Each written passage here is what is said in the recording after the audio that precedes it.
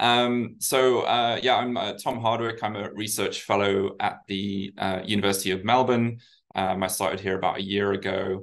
Um, my background's in psychology, so my PhD is in experimental psychology, and um, actually, you'll hear quite a few of the examples of research that I give during the talk are, are based in psychology, um, which may not be your discipline, but hopefully there's some more generalizable um, lessons to be learned from those studies as well.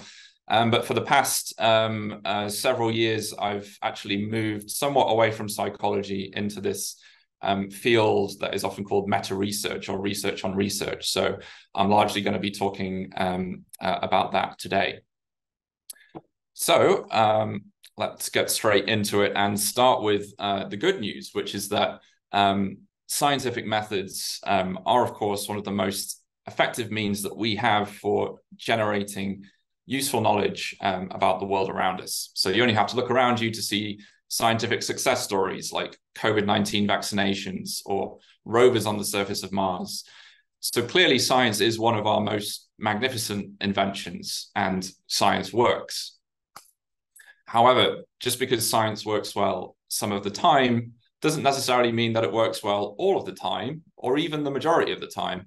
And you're probably aware that over the last decade in particular, there's been this growing chorus of voices from across disciplines, um, prominently in medicine and in psychology, um, highlighting that an unacceptably high proportion of research appears to be wasteful, inaccurate, and even potentially uh, misleading. And this has led some to claim that there's a credibility or a reproducibility crisis.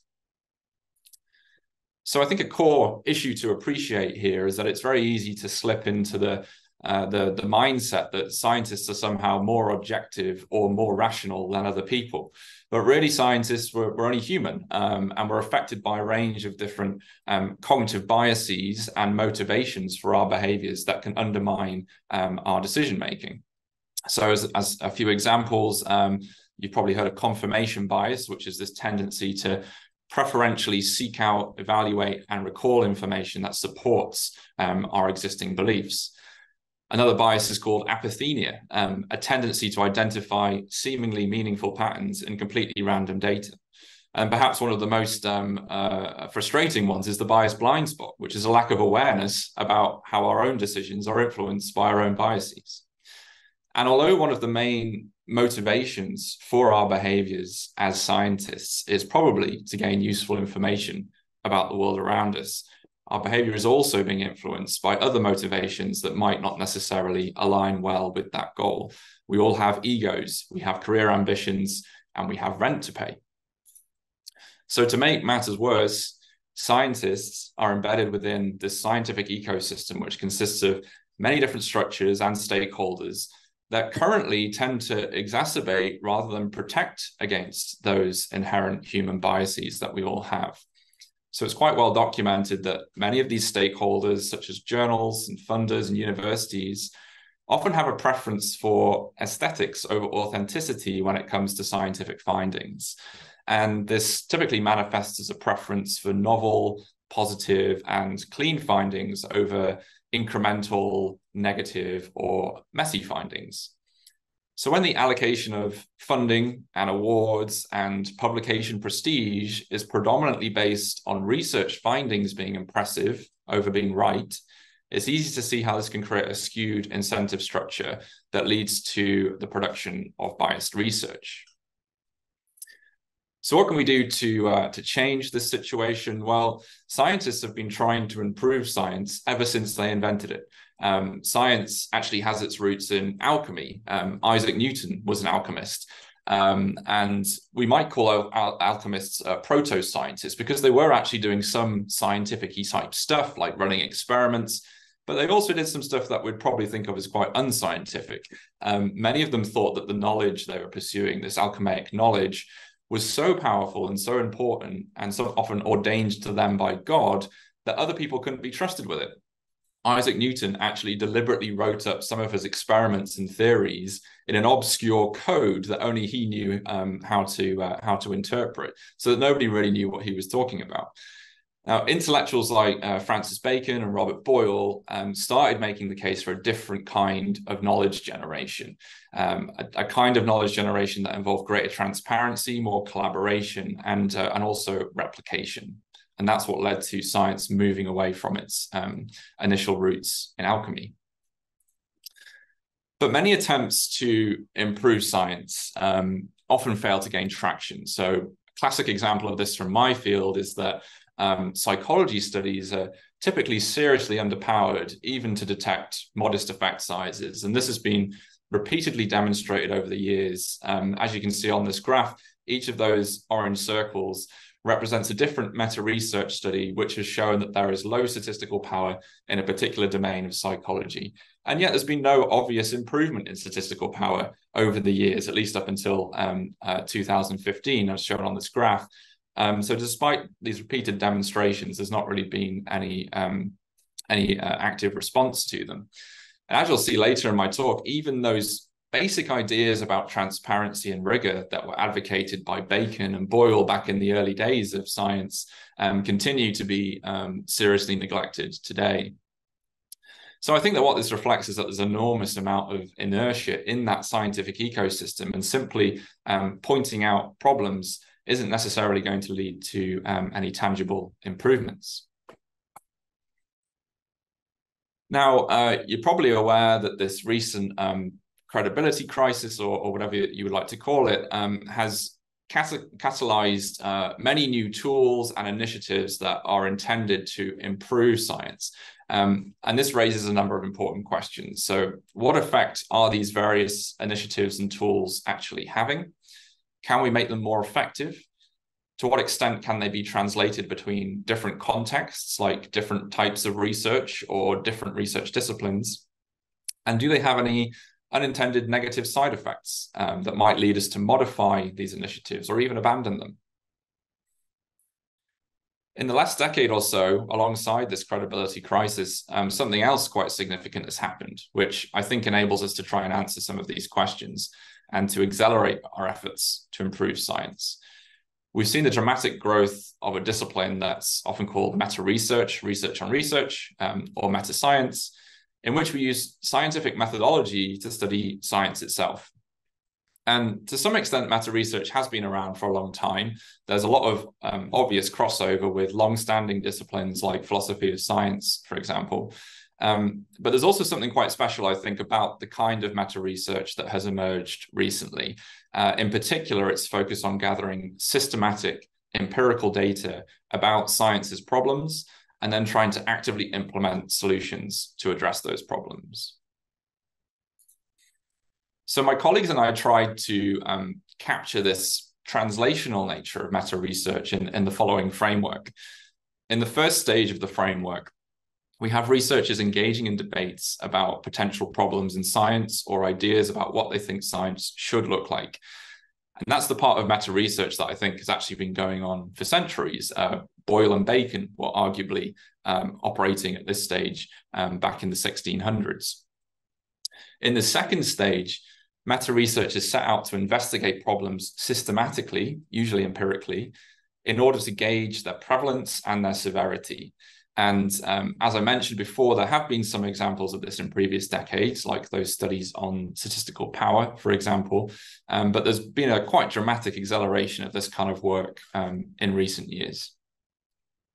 Now, this empirical work at the second stage that documents problems has catalyzed a range of different reform initiatives. So at stage three, we have individuals and organizations trying to develop tangible solutions to these problems um, like those that I showed um, on the previous slide.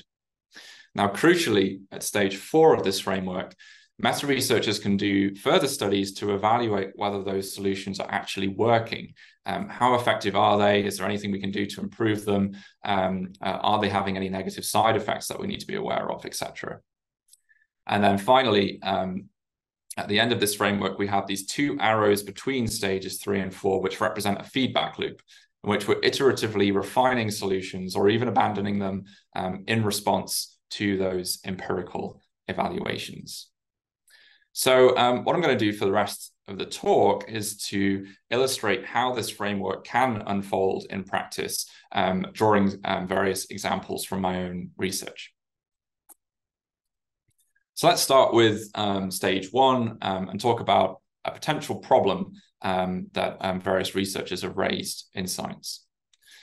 So you're probably um, familiar with this idea that science is or should be um, a self-correcting enterprise. The idea is that over time, the veracity of the scientific literature should gradually increase as falsehoods get refuted and credible claims get preserved. And here are some potentially important components of um, science's self-correction machinery. Um, I think we can roughly categorize these as well in terms of whether they have um, a, a, more short-term and direct correction effect, uh, for example, by identifying specific errors in prior work, or they might have a more indirect and long-term effect, uh, for example, by accumulating evidence that steers us away from an erroneous understanding of the world and towards a more accurate understanding of the world. So, um, for example, if we have um, uh, the data from a, a, previously published study, we might try to run a reanalysis of that study, um, which may lead to us finding errors in the original analysis pipeline. We may also try different alternative um, forms of analysis to see whether the original findings um, are robust. That's often called a sensitivity analysis or a, a multiverse analysis if you're running um, a large scale factorial version of a, of a sensitivity analysis. Peer evaluation, we're all familiar with in the form of uh, uh, journal peer review. Um, our peers can, of course, spot um, errors in our work. They can also um, recognize unacknowledged limitations of research or provide alternative explanations that might change people's beliefs about um, the contribution of prior work. And then uh, replication studies, I think, um, lie between short term and long term. Um, it is sometimes the case that in the process of running a replication study, i.e., trying to repeat the original methods and collect um, some new data, sometimes you do discover an error in the original study, which can lead to a direct uh, updating of your beliefs about that study. But often the results of replication studies can be ambiguous, or um, even if there is a clear difference between the replication study and the original study, we often don't know what the cause of that difference is. Um, so in that sense, a replication study is just another data point in the landscape of data points on a particular research question. Um, and then we may use tools like systematic reviews and meta-analyses to collate all of those data points and quantitatively synthesize them. And the general idea there would be that the weight of evidence should steer us towards um, a more accurate, accurate picture of what's going on, um, given that particular research question, even if some individual or a few um, individual studies would lead us to make erroneous conclusions.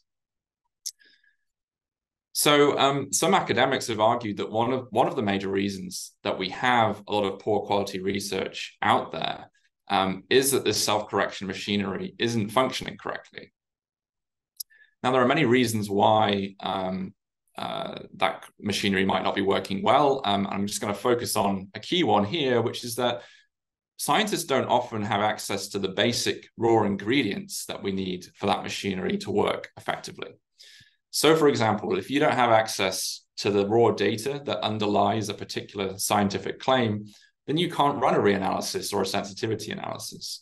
And if you don't have the analysis scripts from the original study, it can be hard to spot errors in the original analysis pipeline.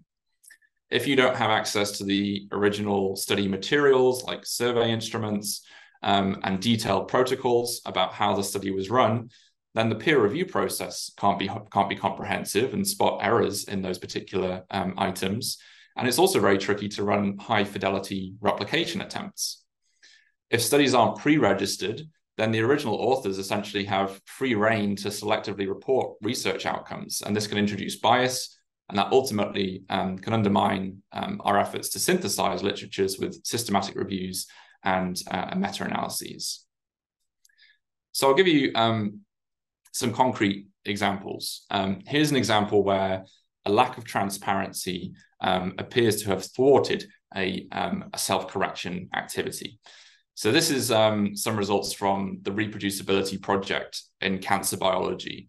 And the goal was to try and replicate 193 individual experiments that had been reported in 53 high impact cancer biology papers. Now, ultimately, um, the team were actually only able to repeat 50 experiments from 23 papers. And by repeat here, I mean whether they could even run the experiment. I'm not even referring to the results of the experiments here, just whether they could run the experiment. And a key problem that prevented them from running many of these replication experiments was a lack of basic methodological information in the papers reporting the research that they were trying to replicate. So I've just highlighted a key part of the, um, the graph on the screen there. In all cases, the replicators, um, when they needed clarifications, they got in touch with the original authors. They found that they needed at least one protocol clarification in every single um, replication case. In the majority of cases, they required more than just a few clarifications. That's represented by the yellow, uh, orange, and red colors. And they always got in touch with the original authors and asked, you know, can you fill in the gaps here or what we're missing?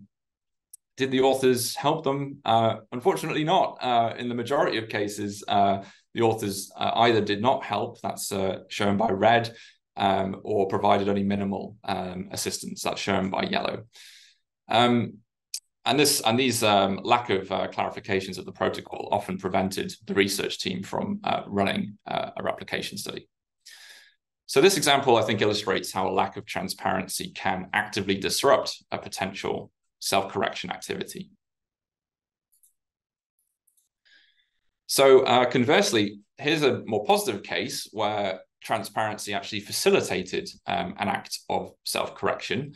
Um, this paper, Growth in a Time of Debt, uh, is a highly influential economic study. Um, it was often cited by um, leading politicians around the world as justification for austerity measures. Um, and then the other paper on the screen is a critique of growth in a time of debt by uh, Thomas Herndon and colleagues. And Herndon was actually a economics student at the time, and for a class assignment, he was trying to reproduce the original analysis in growth in a time of debt. Um, the original data analysis were not initially available, but he contacted the original authors and they sent him a spreadsheet which contained uh, both the data and the analysis formulas embedded in the spreadsheet. And after looking over um, what was in the spreadsheet carefully, um, Herndon and his colleagues decided to write up this critique. Um, and they argued that the spreadsheet contains um, coding errors, uh, selective exclusion of available data, and unconventional weighting of summary statistics. And ultimately, they conclude that um, these problems seriously undermine the uh, the claims of um, of that highly influential paper. Now, I'm not an economist, so I'm not going to weigh into who's right or wrong in this particular case. The point I want to make here is that having access to the original data and the analyses um, enabled this informed scientific debate to take place about the veracity of the of the original claim. Okay, so that was um, some stuff at stage one. Um, I've laid out a theoretical case of a particular problem affecting science, um, that a lack of transparency um, might be undermining science's ability to self-correct. Now, at the second stage of the cycle, we can start to think about how we investigate that problem systematically um, and empirically to try and assess its extent and its severity. Um, so I'm going to tell you about um, some work we've been doing um, and, uh, and uh, colleagues as well um, from, uh, from Metrics, um, a meta research group at Stanford University. Um, and uh, what I'm going to show you uh, in a moment on this screen is the results of four different studies that all used similar methodological approach the goal was to estimate the prevalence of various research practices related to transparency and reproducibility um, in different scientific domains. Um, I've hidden the results just for the moment so I can orientate you to the slide. So the approach in all of these studies was to take a random sample of articles um, published in the particular domain of interest and then manually check them to see if they had followed these particular um, research practices. So you're going to see two studies from the domain of biomedicine um, shown in the, uh, the lime green and the forest green, um, a study from psychology in the navy blue, and um, the social sciences more broadly um, in purple. So uh, feel free to look at whatever domain is of, of most interest to you. Um, I'll just uh, uh, pick up some highlights here from the domain of psychology, which is my discipline. Um, so we're estimating that in the field of psychology, um, for the sample uh, in, in these particular years, which was 2014 to 2017, we estimate data sharing to be just 2% of papers, sharing of analysis scripts to be just 1% of papers, and the use of pre-registration to be just 3% of papers. Um, some of the other um, uh, transparency indicators perform a bit better, like conflict of interest statements and funding statements and uh, open access, for example, open access to papers. An important caveat here is that um, uh, this study is now a little bit old. Um, the sample we looked at was from 2014 to 2017. Things may well have improved um, since then. Um, it's also potentially true that certain subdomains of these broader domains, like uh, cognitive psychology or social psychology, for example, might exhibit different patterns.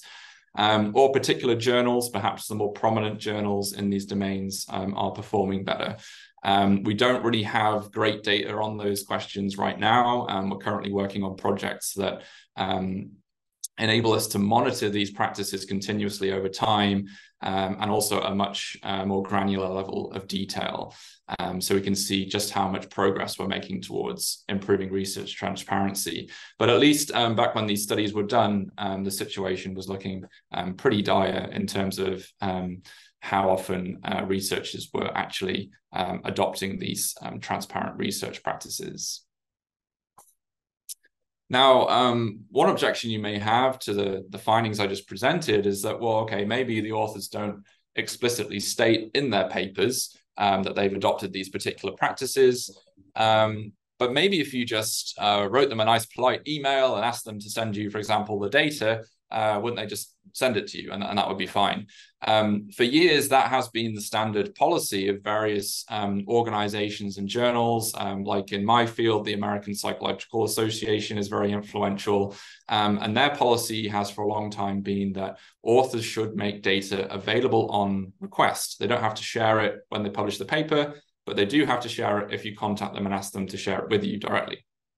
Um, it's now been, I think, fairly convincingly demonstrated that this um, this approach to data sharing um, of basically assigning the ongoing responsibility for stewardship of scientific data to scientists is a complete failure. Um, so this is a, a non-systematic selection of studies, um, but I think an illustrative selection of meta-research studies that basically all contacted um, uh, authors of papers in particular domains and asked if they would make the data available. So essentially challenging or checking this, um, this requirement that data should be made available on request. In the vast majority of cases, uh, authors did not make uh, data available uh, on request, as you can see from the results there. Um, now, there are, of course, um, important reasons why data sharing is not always straightforward. There can be overriding legal, ethical, um, sometimes practical constraints which complicate data sharing. Um, but typically, those reasons are not stated in published papers. So it's very difficult to judge um, if a lack of sharing is reasonable or not. Um, in the two studies at, at the bottom of uh, the table, um, uh, my colleagues and I contacted the authors of the most highly cited articles published in psychology and psychiatry on the one study, and the social sciences in another study. And we made the case to them of why data sharing was important and that the data from these highly cited studies should be preserved somewhere and available to the wider scientific community. Um, unfortunately, in the vast majority of cases, um, the authors did not agree to make the data available. In fact, the the modal um, outcome of these studies is that nobody from the original author team, when you usually contact multiple people, um, nobody ever responds um, to these um, data sharing requests. Okay, so let's move on to the developing solutions part of this framework. And uh, there could be many um, different initiatives uh, to talk about here. I gave you a, um, a hint of those in, in, a previous slide. Um, but I'm going to focus on um, journal policy. This has been a major focus of uh, reform efforts because journals are an important leverage point in the scientific ecosystem um, uh, because they can, to some extent, influence the quality um, and the practices of studies that enter the, the academic literature. So you may have heard of um, the Transparency and Openness Promotion Guidelines, the TOP guidelines. This is an initiative that was launched by the Center for Open Science and, uh, and various other researchers to try and get journals and other organizations like funders to embrace policies about uh, practices related to um, transparency and, uh, and reproducibility. So um, they um, developed this um, this uh, framework you can see on the screen here. These are the TOP guidelines. Um, uh, on the left-hand column, you can see um, the various um, research practices of interest here, like uh, data transparency, pre-registration, replication, etc. And then in the other columns, um, uh, with increasing stringency from left to right, um, you can see um, different implementations of policy related to those practices. So, for example, if we look at data transparency, um, top level one would require that articles um, published in a particular journal, for example, state whether or not the data is available. Level two would require that the data must be available in a, in a trusted repository um, when the paper is published. Um, unless there is a good reason that they can't be shared, in which case the reasons that they can't be shared must be stated in the manuscript. And then level three requires that there's actually independent verification by the journal or its uh, peer reviewers um, as to whether the shared data can actually be used to reproduce the analyses reported um, in the original paper. So three different levels of increasing stringency for each of these different um, practices related to transparency and reproducibility. So um, a couple of years ago, we looked to see whether psychology journals were actually adhering to these um, TOP guidelines. So we took a, um, a random sample of um, 40 psychology journals, um, so we could estimate the prevalence of these policies across psychology journals in general, and we also looked at the um, the most prominent psychology journals, um, i.e., those with the highest uh, impact factor, the uh, the top fifty. And uh, these were all journals that published empirical research. Um, on the graph here, you can see the proportion of journals that had policies related to these particular um, research practices, with darker colors indicating stricter policies and an absence of color indicating no policy at all. The blue is showing the random uh, random sample of journals. The red is showing the um, the high impact um, journals. As you can see, most of the graph is white space. Um, so the overall message here is that the substantial majority of psychology journals didn't have any policies related to these um, particular uh, practices. Um, and it was only marginally more likely to see um, uh, these policies uh, in the more prominent journals. So there's plenty of room uh, for improvement here, just in terms of, of having policies in the first place. But an important question to ask is, of course, whether when journals do adopt um, these policies, are they actually effective? Um, that brings us to stage four of this framework, um, evaluating solutions. So um, I'll give you an example of a study we ran, uh, performed at this stage of the framework. Um, there's a psychology journal uh, called Cognition, um, and they actually introduced a mandatory open data policy back in 2015. Um, so this required that uh, before an article was published, the authors had to make the data available in a third-party repository, like the Open Science Framework, for example, unless there was some reasonable reason why the data could not be shared. Um, so this is a policy that's consistent with um, top level two. Um, and we wanted to assess uh, whether this policy was effective or not. Um, so to do this, we uh, manually extracted information from um, 417 articles that were published, um, submitted, sorry, before the policy was introduced, and 174 articles that were submitted after the policy was introduced. We checked each one to see whether it had a statement saying whether the data was available or not. And if the statement said the data is available, we then checked those data files to see whether they met these three uh, criterion of um, reusability. So the first one was accessibility. Could we successfully download and open the data file? The other one was in, uh, completeness.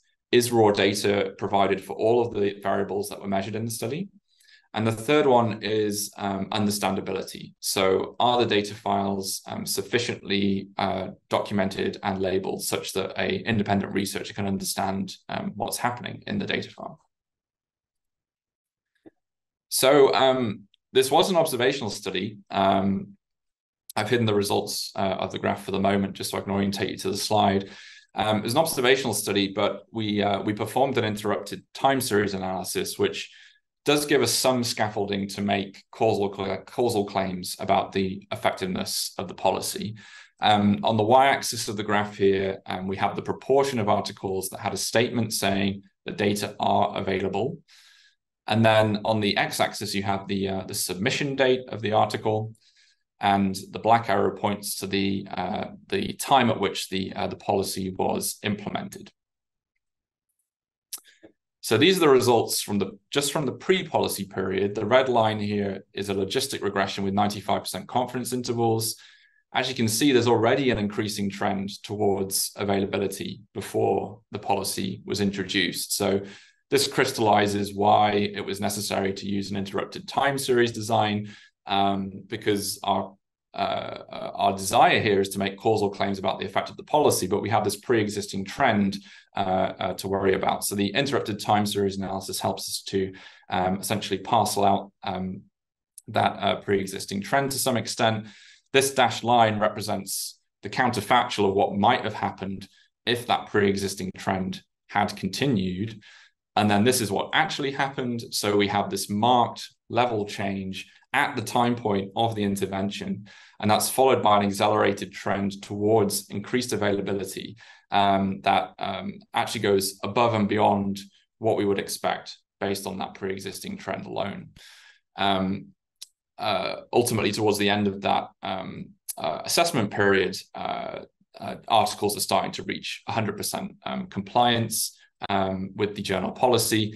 Um, but overall, in the pre-policy period, there were 25% of articles saying the data was available. In the post-policy period, it was uh, 78% of articles on average. We're not aware of any other significant causal factor occurring um, at that uh, time point, and so uh, we think that strongly indicates that um, this was a um, this trend that you see here is uh, largely a causal effect um, of the policy. Now, uh, we also checked those um, data sets to see if they were reusable in principle. And unfortunately, in the pre-policy period, only 22% of the data sets that we checked actually met all three of those reusability criterion. Uh, in the post-policy period, this had improved somewhat. Um, so 63% uh, of the, uh, the data sets that were purportedly available um, actually met those reusability criteria. So that means that still over a third of data sets being shared in that post-policy period uh, don't actually appear to be uh, reusable according to our um, assessments. So there's lots of room for improvement there. Now, uh, in the next phase uh, of the study, we um, did some even deeper checks. Um, we looked at um, analytic reproducibility, which is whether repeating the original analysis on the original data gives you the same result as reported in the original paper. So this is very similar to the idea of computational reproducibility, which you may have heard of before. The slight difference is that with computational reproducibility, um, you usually have access to the original analysis scripts, and you're just trying to see whether you can rerun those analysis scripts. Um, in our case, we rarely had access to the original analysis scripts. So what we um, instead tried to do was to re-implement the original analysis as best that we could um, in our code based on the description of the original analysis that was provided in the original paper. And note that we're not trying to collect any new data here or trying alternative analysis specifications.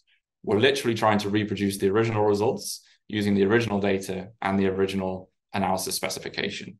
Um, I'd argue that that's a, a minimum uh, quality standard that we should be expecting of um, all articles that uh, deal with um, quantitative data analysis. So um, the way that we uh, approached this was to take a, um, a pseudo-random sample um, of the articles that had already passed those reusability checks. So this is a very kind of narrow um, uh, subset of the broader population of, of um, potential articles we could have looked at. Um, they've already passed those initial checks. And we went through um, and identified um, what we call a relatively straightforward and substantive finding. So by relatively straightforward, I mean that the um, the kind of analyses uh, that we tried to reproduce had to be pretty basic stuff that you'd find in an undergraduate level statistics um, or a methodology book. Um, so we're talking basic descriptive statistics, correlations, t-tests, ANOVAs, um, the occasional um, uh, Bayesian t-test, but um, nothing particularly complicated um, or advanced. And we took the first substantive finding that we, we came across in each paper. We did this for 35 articles from the cognition study that I've been describing. We also did a very similar study later on um, at the journal Psychological Science, which is one of the flagship journals of, um, of our field. Um, and we had a very similar methodological approach there. So I'm going to show the results of both studies. So it's 35 articles from cognition, 25 from psychological science. Um, we tried to uh, independently reproduce um, the numbers that supported one substantive finding from each of those articles. And the way that we operationalized reproducibility was to say if there is a greater than or equal to 10% discrepancy between a value reported in the original study and a value that we obtain in our reanalysis, we consider that to be a major reproducibility error. And if there are any major reproducibility errors in an article, then that article is not fully reproducible. Um, if we encountered any such errors, then we always got in touch with the original authors. We sent them a, um, a detailed report of our reanalysis and we asked them if they knew why we couldn't um, reproduce the original results. So um, here are the results um, before we contacted any of the original authors. The results are very similar for cognition and psychological science. Um, basically, for um, a third of the articles, we could fully reproduce um, the selection of analyses that we'd um, we'd selected. that means for about two thirds of the articles, um, they contained at least one value that we were unable to uh, to reproduce successfully. Um, recall that we always got in touch with the original authors, and I think, except in a couple of cases, the authors did always reply to us, um, and they often provided um, additional information. The information we received from them was, in all except one case, information that wasn't provided in the original paper. So typically, the authors were clarifying um, aspects of the analysis that were uh, incomplete, um, ambiguous, or um, sometimes even incorrect, as reported in the original paper. Sometimes they were providing um, uh, additional data that was missing, and sometimes they were correcting data which they said was uh, incorrect, uh, the initial data that they'd shared. Um, in one case, we had missed a footnote in the um, in the original paper, so the the reproducibility problem was um, was was our mistake. So now I'll show you the results from after we contacted um, authors and they provide provided assistance. The reproducibility success rate went up to um, just under uh, two thirds. So there was this um, quite big improvement with author assistance, but as I say, um, the author assistance was stuff that wasn't actually in the original papers in most cases. And a very important caveat uh, when uh, interpreting these, re these results is that though we've clearly identified a number of um, I think, quite serious reproducibility errors, um, we didn't see any patterns of errors that clearly undermined the author's original conclusions. So, um, being quite uh, cautious about what I say here. So, recall that we only looked at um, uh, a subset of the analyses reported in a particular paper. We didn't try and reproduce every single analysis. Um, so, to some extent, we're limited in what we can say about the paper um, at, at, large. Um, Additionally, um, we would often find a problem with, um, say, one or a few uh, numerical values in the paper, whereas other values were reproduced successfully. So it wasn't clear to what extent those errors actually undermined the, the overall conclusions of the paper. And then sometimes um, there were situations where, uh, for example, we might find um, a smaller effect size than as it was reported in the original study, but it might still be statistically significant and in the hypothesized direction. So in that sense, it's still consistent with the original hypothesis, which was just um, directional. So it's possible that if um, if someone uh, dug into these papers further and had more domain knowledge, they might uh, make more confident um, claims about the veracity of the original conclusions.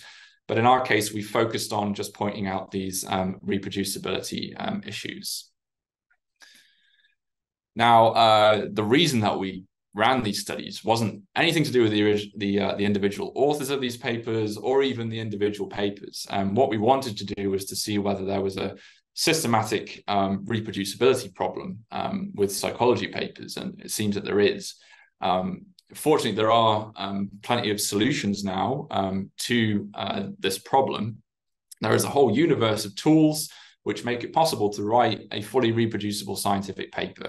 Um, I won't say it's a necessarily easy process, uh, particularly if you're not familiar with um, uh, programming languages like R or Python. Um, and I hope that the user friendliness um, of these tools starts to improve soon.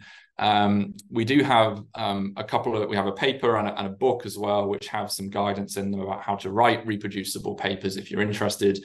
Um, you can uh, follow uh, follow those links there if you'd like to get a bit more advice about how to um, uh, write reproducible papers yourself. Um, so now we get to the uh, the very last part of this framework, which is this um, ideal that we have a feedback loop between solutions developed at stage three and the evaluations. So if we just did these evaluations and they just went into the vast space of the academic literature and everyone ignored them, then that would be um, uh, upsetting. Um, in this case, we did have a, a, nice example of a feedback cycle um, because the um, editors at Cognition wrote this response to our study and they highlighted a number of changes that they were going to make um, to their, um, their journal's data policy. Um, the changes don't actually go quite as far as we would have um, liked. So one of our main um, recommendations was that the journal should require sharing of analysis scripts as well as sharing of data, because having the original analysis script tells you very clearly uh, how the original analysis was run. And one of the main problems we encountered was ambiguous specification of the analysis in the original paper. Um, I think the editors didn't want to go that far because they felt it would be a burden on authors. Um, Nevertheless, this was generally a positive response in the right direction. Um, so um, a nice example of a, of a, feedback loop. I have another study here I can tell you about um, just to, um, uh, to, to wrap things up. So um, this is a study um, uh, related to another aspect of self-correction. I mentioned earlier peer evaluation, which usually happens at the uh, uh, the pre-publication stage during peer review. Um, but I'm particularly interested in um, something I'll call uh, post-publication critique, which is um, whether you can submit a, um, a critique to a journal after um, a paper has been published. Um, and you can point out various errors with a paper or limitations that weren't acknowledged or alternative interpretations. Um, and I think this is an extremely valuable part of the self-correction process. And uh, Charles Darwin agrees with me. Uh, he says uh, to kill an error is as good a service as, and sometimes even better than, the establishing of a new truth um, or fact. So um, what we wanted to do in this study was to see how scientific journals actually handle those um, uh, submissions of um, uh, post-publication critique. So uh, our, we, we have this operational definition of post-publication critique, which is um, a little bit wordy, but it's uh, any journal-based avenue for sharing peer-initiated critical discourse related to a specific research article previously published in the same journal. So a prototypical of that, a prototypical example of that is a letter to the editor. Um, but we had to have this kind of tight operational definition. So we knew uh, exactly how to define uh, what we were measuring. Um, our sample was uh, the 15 top ranked journals by impact factor in each of 22 high level scientific disciplines. That's 330 journals in total um, from across the whole uh, breadth of uh, scientific activity. Um, and we, uh, we only included journals that published um, some empirical research. Um, our methodological approach was to go to the journal's website and we recorded whether it, first of all, accepted any form of post publication critique, like a letter to the editor. And if they did, did they impose any limits on post publication critique, particularly in terms of um, length limits and uh, time to submit limits? So, um, as you can see uh, here, you can see the results for these various different domains and the results overall. Um, 207 journals, that's 63% of the journals in the sample, um, offered some um, way of submitting post-publication critique, but this varied substantially across these different um, domains. In clinical medicine, for example, um, all 15 of the journals, 100% of the journals in that domain that we looked at um, uh, allowed the submission of post-publication critique. Um, at the other end of the spectrum, uh, the field of mathematics, for example, only two um, journals offered some way of submitting um, post-publication critique. Um, as I mentioned, we also checked that when a journal said you can submit, for example, us to the editor, did they impose any limits on the length um, some journals, uh, if you look at the uh, the smaller inset graph here, uh, some journals um, stated a specific quantitative um, length limit, and then those quantitative length limits are shown in that um, larger graph, the histogram. Um, some specified a qualitative limit. For example, they said, you know, post-publication critique must be short um, or concise. Um, but most of them were specifying quantitative limits like 300 words, for example. Um, the most restrictive limit we came across was 175 words. Um, the, the median was 1,000 words, and the interquartile range was 500 to um, 1,200 words. Now, um, from my perspective, I think uh, you know I understand journals sometimes have to have some degree of uh, length restriction, and they want to promote concise uh, discourse.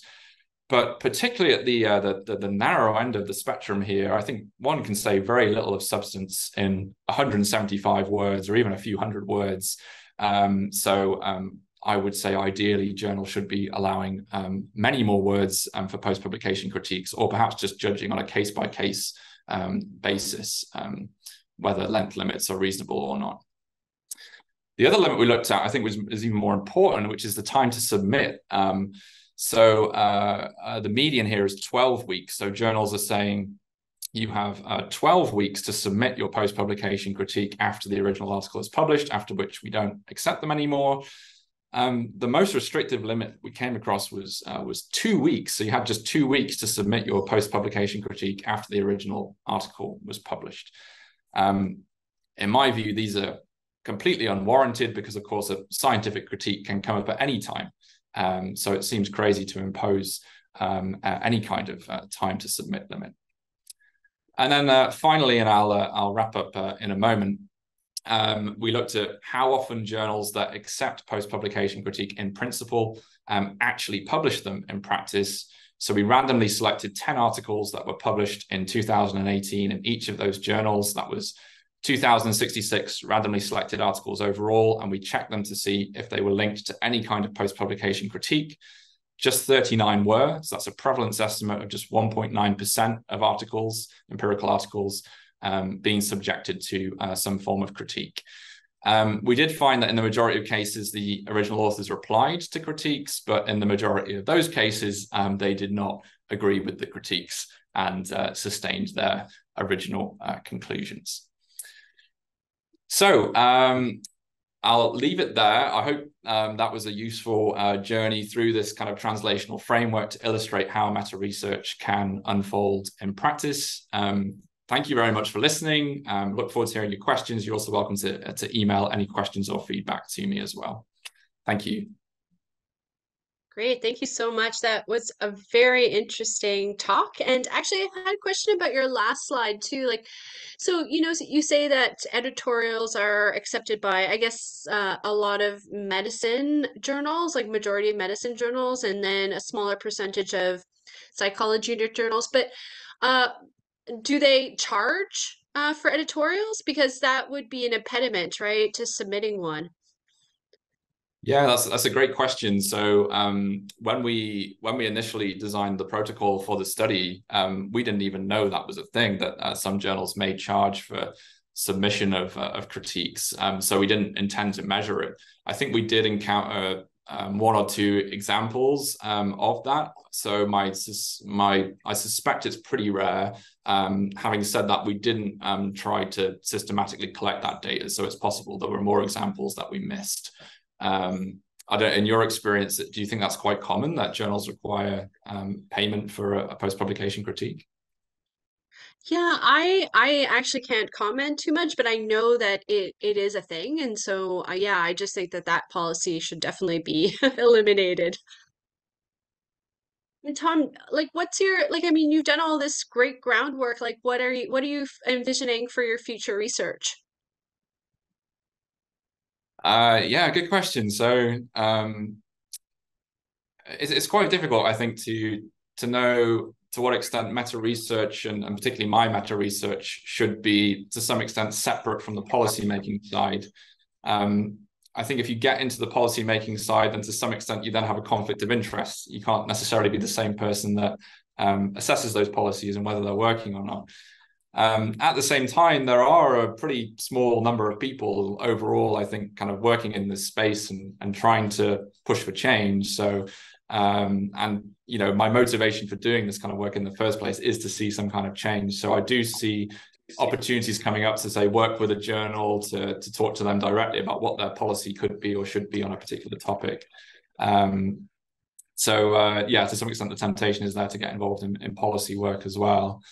Um, one thing along the lines of the study I've just been talking about, um, I've been interested in thinking about well, how should a journal actually do this. So thinking about, you know, stage three of this cycle, we pointed out a problem, but how should journals actually handle post-publication critique? And um, I think a good next step might be to, to do a survey of journal editors to get their views on it, because to some extent, um, I'm looking at these policies and thinking this doesn't seem right, um, particularly um, the time limits. But perhaps journals, uh, journal editors do have some good reason for those, or they have some practical considerations. So um, in terms of uh, moving down the pipeline and starting to think about concrete policy, I think having uh, yeah getting a conversation going with with journal editors would be a good uh, a good next step. Great, that sounds awesome. So um, yeah, I guess uh, oh Debbie has a her hand raised. Do you want to ask a question? Yeah. Um, I was just wondering um, when you talked about short term and sort of those those long term types of aspects of that that you would see in terms of the nature of of how people are responding. I, I guess I was looking at the culture and the lab aspects. Like you kind of don't include anything that's sort of like the pre-publication side from that kind of aspect. Um, like information seeking behavior kind of looks at how people in the labs reach out to each other if they're having questions or problems or those kind of situations. And, and that's more about the culture and how science itself tells itself that you know oh we're so great we have self-correcting behavior because you know but it's down the road it's over there it's after we've published and it's not actually when it's when you're actually in the midst of it. So i just wondering if you if you were looking or interested in doing things around that. Um so do you, do you mean uh kind of correction behaviors within a lab like quality control? Is that is that what you're referring to? Yeah and just the idea about who who you ask right? Because if you go in and you ask you know different people um, different uh, I mean, you're trying to look at a whole range and call it science, and that's hard because it's such discipline specificity, right? So you see a lot of quantitative researchers who are doing theoretical work are not, they don't have a lab. So they may reach out to other researchers when they have any problems or, or questions or trying or, or even just having that quick, can you review my paper before I send it in? Or, or that kind of interaction that's more cultural and not prescribed. Where after post-publication, I think you see more of the prescribed, you know, you're trying to set up policy, you're trying to say this is what you should do. I was just wondering how to bring the whole concept of, of doing really good science all the way back to the beginning of when the science is actually, you know, happening inside a lab. Because most people who are lab orientated, I mean, who are they going to ask? They're going to ask their lab mates before they actually, um, if they have a problem, if they're running into a situation, or they don't understand the statistics, or or what should they do when, or you know, when they're writing their paper and they don't include certain aspects that they need to include. It's because they forgot that they did that, as opposed to being, you know, malicious and saying, "Oh, I don't want anyone else to really duplicate this."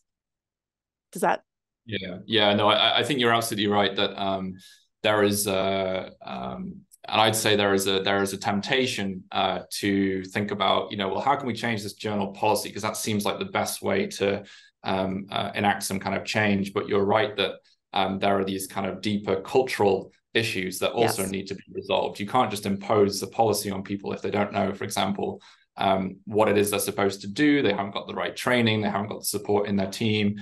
Um, or if they don't even believe in the goal, like if they, they think, well, why are you telling me to share my data? I don't even think that's an important thing to do. Um, so I think we do need, um, you know, initiatives in both directions. Some degree of top-down uh, enforcement, I think, is important because it sets a kind of level playing field across um, a field. Uh, if there is general consensus in the field that that policy is a good idea, but you also need bottom-up initiatives um, in terms of training, support, um, there are lots of good initiatives um, springing up in various departments of statistical advisors and open science advisors who will support staff with um, uh, these different activities. And so they are happening at the same uh, time as these top down um, uh, policies as well. I think you're absolutely right. Yeah, a lot of it is a cultural problem. Yeah. I was also thinking just if you did an examination looking at um, open access publications and if there's a difference in terms of the reproducibility uh, based on on that kind of framework, like eh, you know, again going back to like the cultural aspect of a scientist saying, "I'm going to publish, I'm going to make sure that this is open access." Does that have any influence about the quality of the type of work that's happening? Whether they initially decide to make their paper open access or not? Well, I mean, a lot of researchers are going to start off and they're going to say, you know, we're going to do this research. This is where this is where we're going to shoot for. We're going to shoot for this publication to be here, here, and here. So if that's mm-hmm. the case, and they end up having an open access publication, is there better reproducibility because they were driven to that? Again, it goes to that cultural feel of of if this is mm-hmm. completely mm-hmm. open, then it's of course easier to share my data. And if it's easier to share my data, I'm going to have to worry about it more, right? Like I have to make sure I have, you know, the text file that explains that data. Otherwise, you know, no one's going to understand it. So then it was useless anyway. Yes, uh, yeah, I, I, suspect that you're right. That um, you know, if if um, if people are um, on board with sharing their data, then uh, yeah, then the, the, immediate concern that pops up is well, someone might check this, and so then you also have to um, improve your uh, standards on other practices as well. I think that's probably right. I don't have any um, evidence on that particular question, but yeah, it's a good point. Thank you.